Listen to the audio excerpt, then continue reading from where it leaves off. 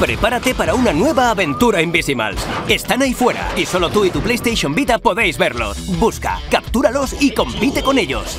Colecciona los 150 Invisimals y disfruta con nuevos modos de juego. Invisimals, la resistencia, solo para PlayStation Vita. Para vosotros, jugadores.